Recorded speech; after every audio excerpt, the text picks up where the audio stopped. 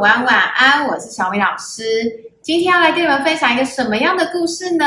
今天要跟你们分享的故事在约翰福音的第二章哦，讲到耶稣使水变为酒。这个故事呢，是耶稣出来传福音的第一个神迹，第一个神迹，把它记起来，第一个神迹。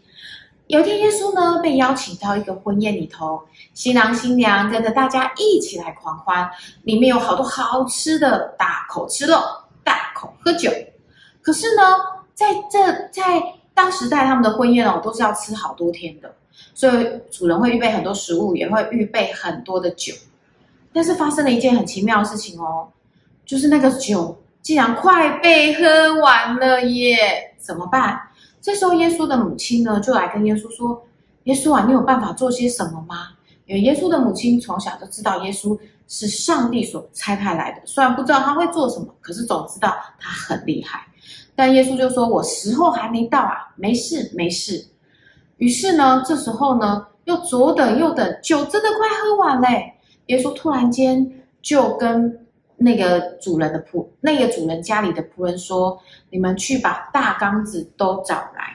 就是通常啊，因为他们在那个沙漠地带都会有很多风沙，所以都会预备那个很大很大的缸子，里面装满了水，可以让呃客人舀起来洗洗手、洗洗脚。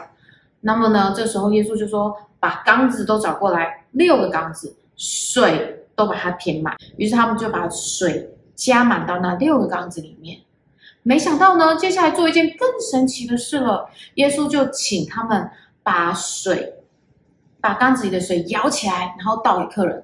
那是水耶，不是酒哎。当他们照做了之后，那个管宴席的，就是负责那个酒跟负责食物的人，就先过来品尝了一口。他们也不敢讲刚刚那个是水，但没想到品尝了一口之后，他们竟然说。这是哪来的美酒啊？怎么这么大的美酒，这么好喝的酒，怎么留到最后呢？这时候呢，酒也盛给客人了，大家吃的开心，喝的更加的开心。这是耶稣行的第一个神迹，水变为酒。那这故事其实要告诉我们的是什么呢？当我们向神来祷告，有耶稣在我们的生命里面，即使很平凡，即使很平淡，像水一样。但当我们向神来祷告，神能使水变为酒。如果你很无聊，你就跟神祷告说：“主啊，我好无聊。”主耶稣能帮助你，让你的生活不无聊，是很有趣的。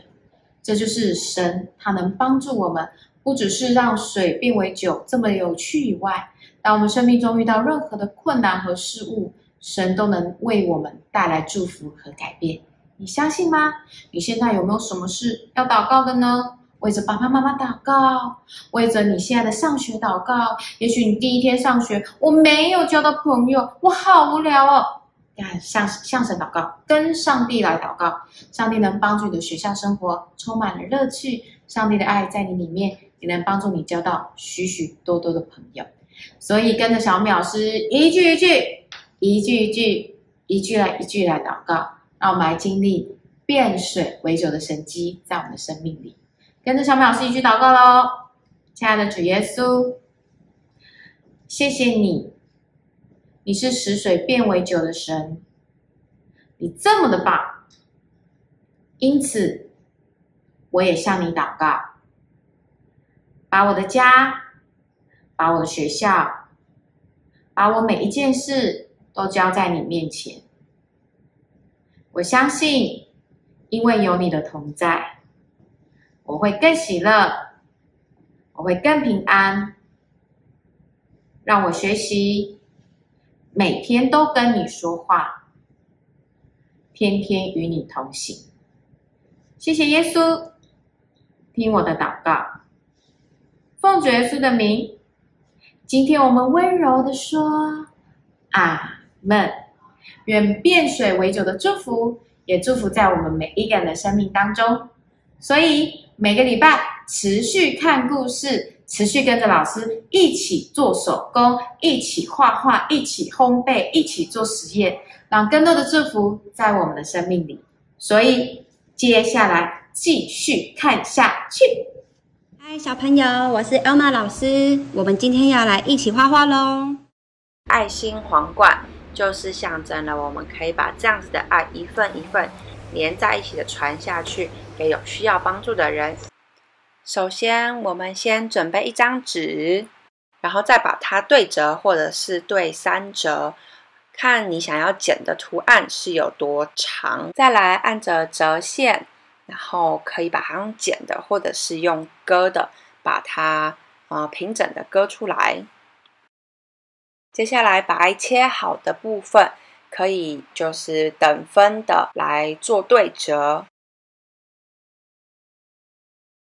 当你折好之后呢，在那个框框的范围里面画出你想要画的图形。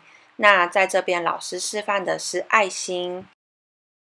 那在这边有一个小秘诀，要千万千万记得左右两边一定要是连着的，不可以是剪断的状态。现在就可以把它剪下来啦。要记得，呃，边边两边都要粘着彼此。这样子才会有连在一起的效果哦。在用剪刀的时候要注意小心安全。那打开我们剪好的样子，就会是粘在一起的一串爱心。然后如果想要再有更长一点的爱心的话，可以按照它的那个折线等分的把它对折，就可以折出跟刚刚的爱心一样的宽度。然后再重复刚刚那个剪爱心的动作。就可以顺利的剪出第二条，这个就是错误的示范。两边旁边一定要是彼此相连，不可以是，呃，有一段是完整的爱心形状。那把刚刚剪好的那两段，用胶带或者是胶水，可以把它们粘在一起。最后粘在一起的那个部分，可以按照小朋友的头围来做测量，再把它粘在一起哦。那也可以鼓励小朋友在爱心的皇冠上面画出自己想要的颜色或者是图案。